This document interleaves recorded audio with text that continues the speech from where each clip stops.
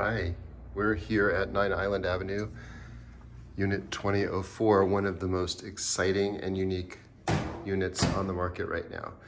This is two units put together. Originally, uh, each are two bedroom, two bath. It's been reconfigured into a two bedroom plus den and three and a half baths. It's 2880 square feet. It's absolutely unbelievable. And so let me just show you around real quick. You walk in here, you have obviously a full foyer. Um, this was one bathroom that's been converted to a powder room, but could easily be made into another master. Um, let me just start off into the primary bedroom, which is just unbelievable. It's, uh, it's massive. I have a floor plan so you can see that. Um, every single window in this apartment has the view that everybody wants. We're on the 20th floor. See the skyline? It's just, it doesn't get any better than this. Um, so this master bedroom has an outrageous wardrobe, uh, bathtub. So it has a jetted tub. It has a wet room with a shower and a bidet.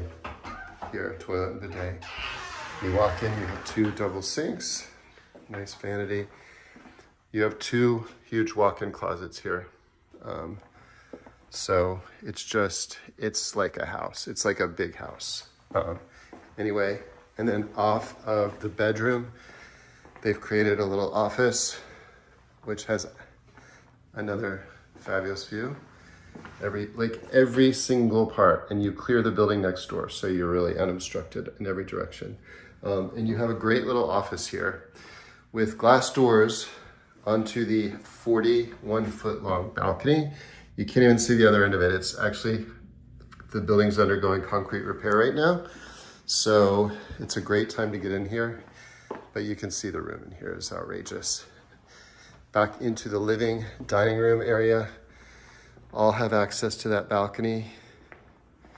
Uh, you've got a TV area, a bar, um, and again, like four openings to this balcony from here.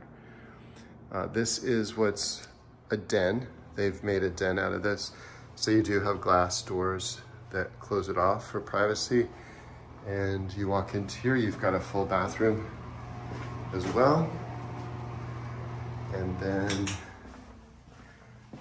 you walk into the, they open the kitchen here and you have a great open kitchen, again with views back into the living room.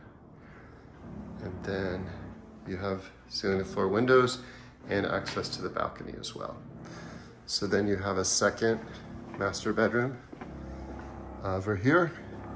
These are two queen size beds, so you can see the size of this one. Not as big as the other, but very nice.